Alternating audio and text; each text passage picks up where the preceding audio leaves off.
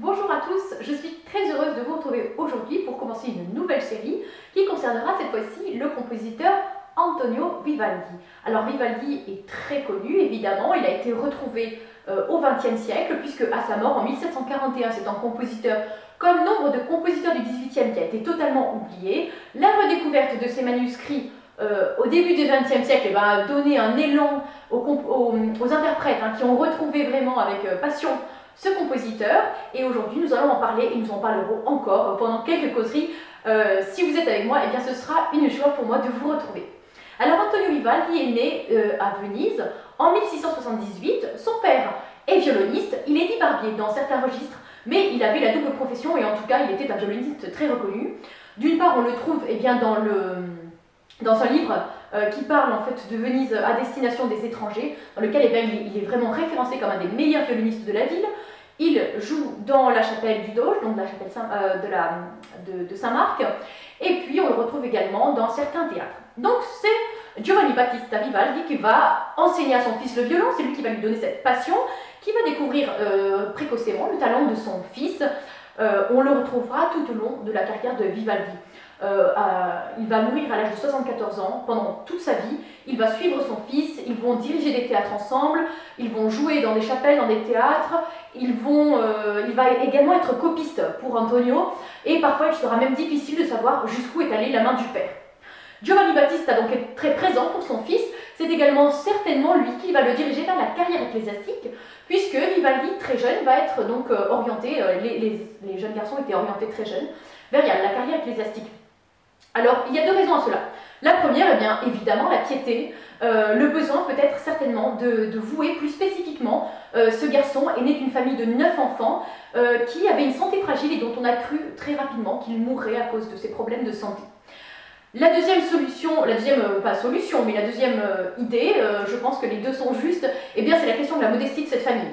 à l'époque, s'offrir un précepteur n'est pas à la portée de tous, et les séminaires eh sont vraiment une opportunité pour recevoir une éducation solide.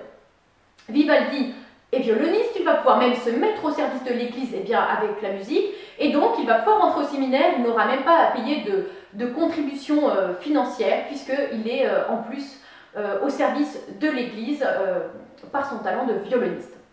Antonio Vivaldi reçoit une tonsure à l'âge de 15 ans qui est euh, euh, symbolique, on lui retire quelques cheveux.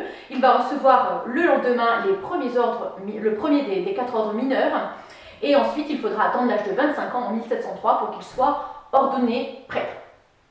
Pendant ce temps-là, on va le retrouver auprès de son père pour jouer, il va jouer dans des églises, et il va être très reconnu pour son talent de virtuose. Donc, avant de vous parler eh bien, du premier poste de Vivaldi, je vais vous faire entendre euh, une œuvre qui est issue de son premier recueil, le premier recueil qu'il va faire éditer à Venise en 1703 et dans lequel on trouve des sonates pour deux violons et basse continue.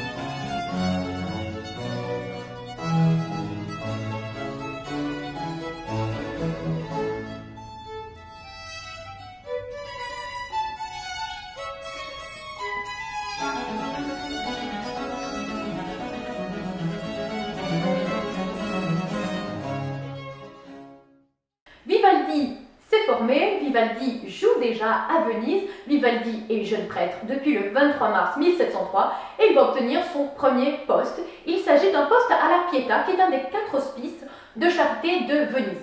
Nous prendrons le temps de parler de la Pietà, c'est un, lieu vraiment très intéressant. Vivaldi y a fait une carrière... Euh, euh, qui lui a apporté, enfin c'est vraiment un lieu qui lui a apporté énormément. Donc on va en parler aujourd'hui, mais vraiment beaucoup plus spécifiquement dans une autre causerie. Euh, ce sera vraiment un plaisir de vous présenter ce lieu.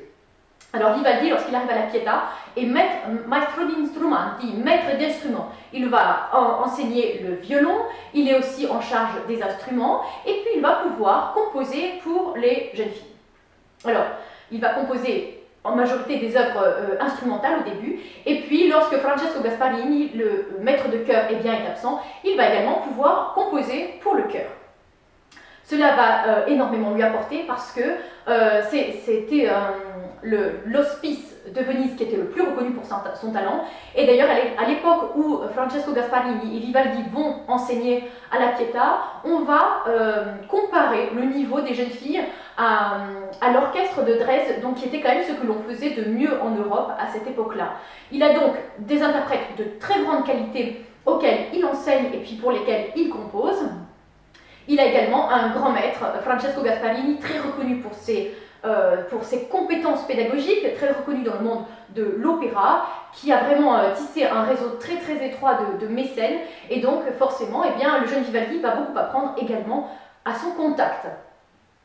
Vivaldi euh, est à la Pietà, mais ce ne sera jamais véritablement un poste stable. Il va être à plusieurs reprises, eh bien, il ne sera pas réélu à plusieurs reprises, puis réintégré. C'est très difficile de comprendre pourquoi les, gouverneurs de la Pietà ne l'ont pas euh, maintenu dans son poste, euh, surtout qu'ils feront toujours appel à lui pour euh, enseigner aux jeunes filles, même dans les périodes où il ne sera pas bien membre des, professeurs à la Pietà.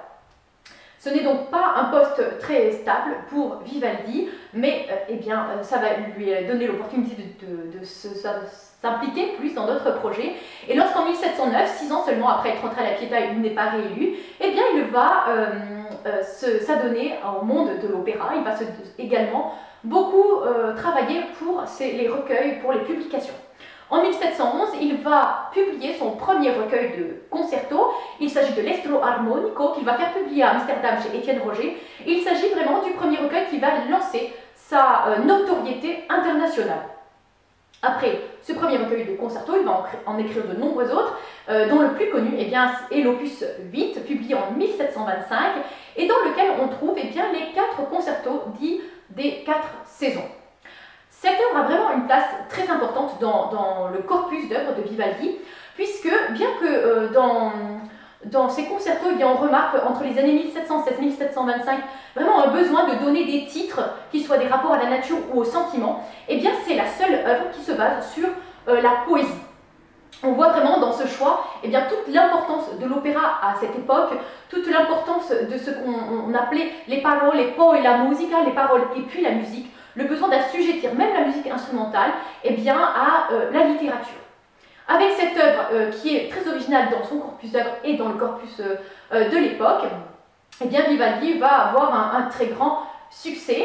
Alors avant de vous faire écouter le premier mouvement de l'hiver, eh bien je vais vous lire ce que Vivaldi a sur les, vers sur lesquels Vivaldi eh bien s'est inspiré pour écrire. Alors le début de l'hiver nous dit ceci. Dans les neiges argentées, tremblants et gelés par le souffle tranchant du vent glacé, on court et on tape sur le sol en tremblant des dents à cause du gel.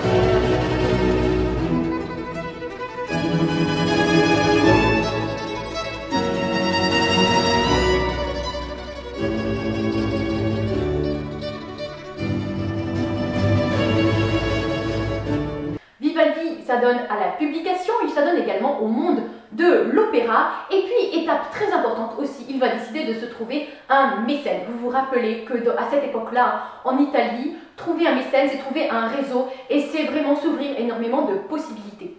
En 1718, eh bien, euh, Antonio Vivaldi est sur les routes de Mantoue. Il va devenir le musicien de Philippe de Hesse-Darmstadt. Philippe de Hesse-Darmstadt est le gouverneur de la ville de Mantoue pour euh, l'empereur Charles VI. Euh, Vivaldi se retrouve eh bien, un petit peu à la même position que Monteverdi il y a un petit peu plus de 100 ans auparavant, sauf que Monteverdi était au service de la famille de Gonzague qui à l'époque eh bien, régnait sur cette ville. Vivaldi se retrouve à Mantoue, il s'occupe de la musique profane pour Philippe de Ernst-Darmstadt. Euh, il va donc composer cantates, motets, musique euh, euh, opératique également. Ce qu'il va découvrir à Mantoue, eh c'est le fait de, devoir composer dans un contexte beaucoup plus diplomatique qu'il avait l'occasion de le faire à Venise. On a par exemple eh l'exemple, pour vous citer le plus célèbre, ben, du Tito Manlio qui va être donné en 1719, puisque cette œuvre a été composée pour le mariage de Philippe de Herst-Darmstadt, mariage qui sera finalement annulé, mais Vivaldi va composer tout euh, euh, vraiment avec cette pression de se retrouver devant un parterre de personnages très prestigieux.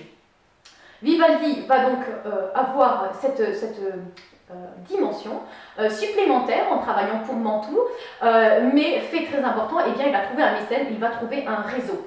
Et lorsqu'en 1720, euh, l'impératrice euh, d'Autriche meurt, eh bien, il va y avoir un, euh, deuil, évidemment, à la cour de Mantoue, et Vivaldi repart à Venise. Mais il repart avec une, une lettre qui va lui permettre eh bien, de lui ouvrir des portes à Venise, puisque cette lettre est destinée aux représentants de, de, Charles VI pour, à Venise. Donc voilà, le réseau autrichien de Vivaldi commence et va lui être profitable. Euh, nous en avons déjà parlé, Vivaldi a euh, composé des opéras, euh, avant 1718 d'ailleurs, et pour cela, eh bien, je vais refaire un tout petit point sur les opéras de Vivaldi en vous parlant des trois types, trois, trois dates importantes dans l'opéra de Vivaldi.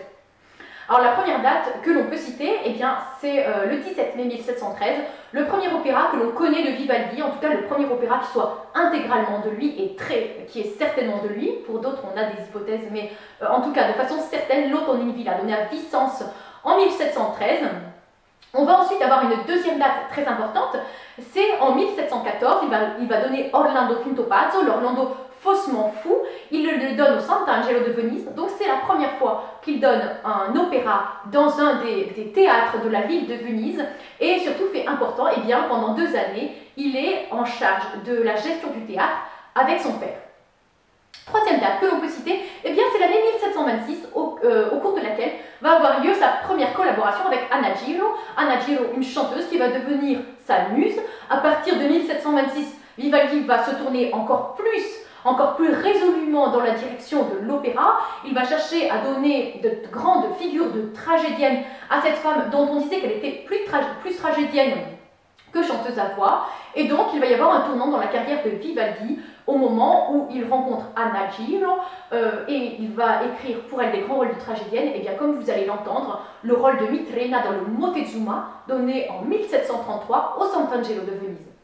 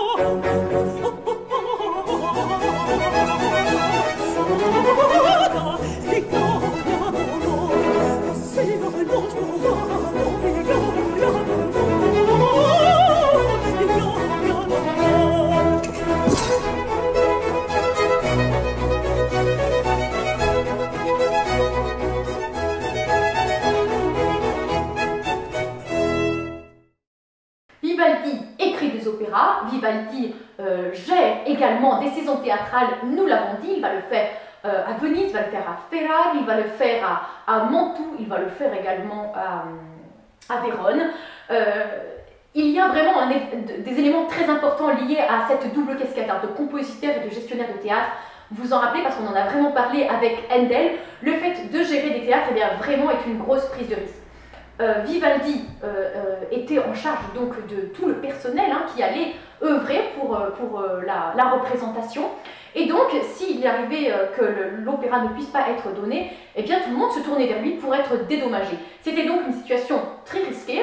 Et en 1734, pour justement une, saison où il était en charge à Ferrare, il va être dans une grande difficulté puisque le cardinal Tommaso Ruffo lui interdit de venir dans la ville parce que c'est un prêtre qui ne célèbre pas la messe. Et oui, Vivaldi n'a célébré la messe que les trois premières années après euh, son ordination. Et puis parce qu'il vit en relation étroite avec une chanteuse. Ils ne vivent pas ensemble et Vivaldi euh, euh, démentira toujours qu'il puisse y avoir quelque chose entre cette femme et lui. En tout cas, c'est une situation qui, qui sème le doute. Et le cardinal Tommaso Ruffo ne permet pas cela. Donc, Vivaldi euh, se retrouve avec toute une série d'artistes euh, qu'il doit engager et heureusement cette année-là le Sant'Angelo va lui sauver euh, un petit peu sa saison puisqu'on va lui demander de s'occuper du théâtre ce qui va lui permettre eh bien, de ne pas se retrouver dans une situation extrêmement critique. La deuxième chose qu'impose bien la double casquette euh, compositeur et puis gestionnaire de théâtre, eh bien c'est celle de la rapidité. On en a déjà parlé avec Handel, euh, vraiment l'urgence dans laquelle on doit régulièrement eh bien, donner du spectacle. Vraiment, euh, le compositeur n'est pas dans, un monde idéal des idées, il doit donner du divertissement au public. Il faut donc remettre régulièrement des œuvres sur le métier. Vivaldi, lui aussi, donc, va beaucoup redonner des œuvres, il va aussi beaucoup donner de pastiches, il va euh, abondamment piocher dans son propre corpus et dans celui des autres pour donner des œuvres à entendre. Un procédé qui n'a à l'époque rien d'original et rien de scandaleux. Vous vous rappelez, nous l'avons déjà dit pour Handel, eh bien, cette capacité à donner si rapidement euh, des œuvres, à écrire dans l'urgence, elle est un petit peu liée aussi à cette capacité d'improvisation. Vous vous rappelez que Handel était euh, improvisé beaucoup à l'orgue et euh, Vivaldi, pour sa part, lui, improvise au violon, très grand virtuose du violon. Et il y a encore un petit peu de ça dans cette capacité d'écrire très vite, dans cette capacité de redonner toujours vie à un matériau. Il y a vraiment un réservoir fertile d'enchaînements harmoniques, de mélodies, de procédés que le compositeur va, euh, euh, va utiliser, auquel il va redonner vie pour que, soit dans l'urgence de la composition, et bien soit dans la spontanéité de l'improvisation, on puisse redonner une œuvre, si ce n'est nouvelle, et bien toujours fraîche. Je vais euh, vous faire entendre maintenant une, euh, une, aria qui a été écrite pour le Griselda. Alors cette aria, elle a été, euh, c'est une aria di tempesta, donc vraiment air typique de ce qu'on, de tempête, typique de ce que l'on pouvait attendre d'un opéra seria. Et cette, cette aria est très intéressante, elle est vraiment issue du, du, genre acrobatique, de, vraiment du style acrobatique que l'on devait à Carlo Broschi di Farinelli, qui, qui, commençait à faire vraiment fureur à Venise. Euh, Carlo Broschi, euh, Faustina Bordoni, il y avait également le grand Castra, euh, Caffarelli, pardon, qui était vraiment très très écouté dans ce début de 18e siècle à Venise. Et c'est vrai que lorsque Vivaldi pioche dans le corpus d'autres compositeurs, eh bien c'est soit chez les vedettes de l'époque, et la vedette à l'époque à Venise, ce n'est pas Vivaldi, c'est Johann Adolf Haas, que l'on appelle là-bas il caro sassone, le chef saxon. Et donc voilà, c'est vraiment le corpus de, Johann, Adolf Haas, et puis tous les airs mis à la mode par Caffarelli, Farinelli, Faustina Bordoni qui vont inspirer Vivaldi et dans lequel il va euh, puiser. Donc je vous laisse entendre cette aria euh, agitata da due venti qui est vraiment la plus connue, euh, la plus pardon, la plus représentative de ce que Vivaldi a, pioché à ce style acrobatique de, de Farinelli.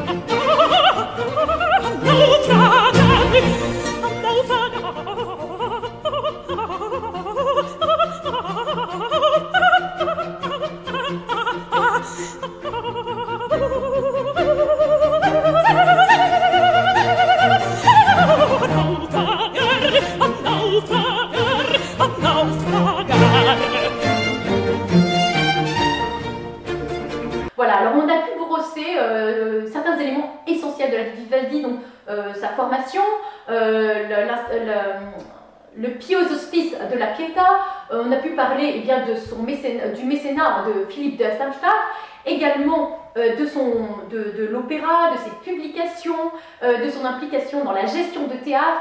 Nous sommes très très loin d'avoir été exhaustifs. Le but était de vous donner vraiment une représentation un petit peu de sa carrière. Nous n'avons d'ailleurs pas parlé de la fin de sa vie, puisque cela, je voudrais vous en parler dans une prochaine vidéo, dans laquelle nous parlerons eh bien, euh, justement eh bien, de ce mécénat, du besoin qu'il a eu de, rentrer dans un, dans un réseau, le réseau euh, pro-autrichien, et comment en fait il a voulu vraiment faire connaître son œuvre, quelle est l'intelligence qu'il a mise vraiment au service de la la diffusion de son œuvre. Donc je vous retrouve vraiment très vite, j'espère, et eh bien pour vous parler de ce sujet qui nous permettra eh bien, de parler de la fin de sa vie euh, à Vienne en 1741. Euh, et puis je vous l'ai dit, on parlera également de la Pietà. Il, y a vraiment beaucoup de choses à dire de Vivaldi. Donc j'espère que cette causerie vous a plu et j'espère qu'on pourra se retrouver bientôt pour continuer à parler de ce grand compositeur.